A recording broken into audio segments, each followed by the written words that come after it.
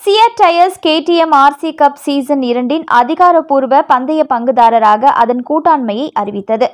அதிநவீன தொழில்நுட்பம் மற்றும் பாதுகாப்பிற்கு புகழ்பெற்ற முன்னணி டயர் உற்பத்தியாளரான சியாட் டயர்ஸ் கேடிஎம் ஆர்சி கப்புடன் அதிகாரப்பூர்வ பந்தய பங்குதாரராக தனது கூட்டாண்மையை அறிவித்துள்ளது.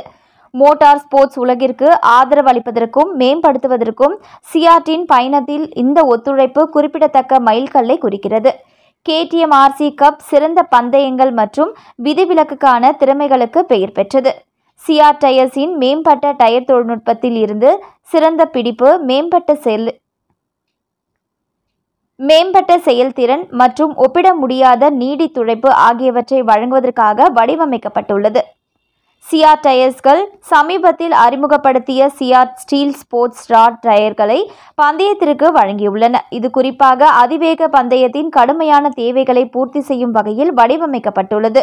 ஒவ்வொரு பந்தய வீரரும் பாதையில் தங்கள் அதிகபட்ச திறனை அடைய முடியும் என்பதை உறுதிப்படுத்துகிறது.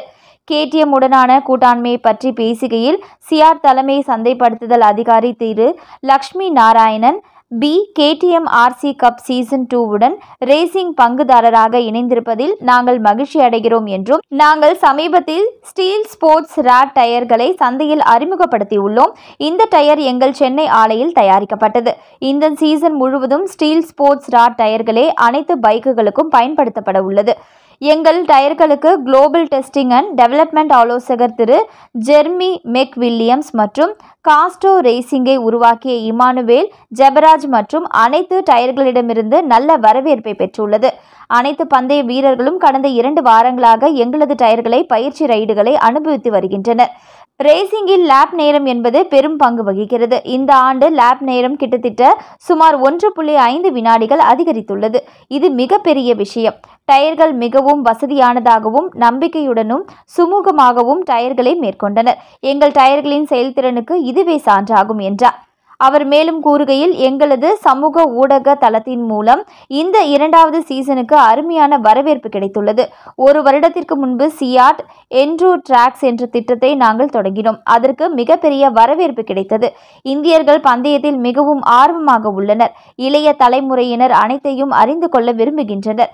இந்த டயர்களை பந்தயத்தில் மட்டுமல்லாமல் ஒரு சாதாரண சவாரிக்கும் பயன்படுத்தலாம்.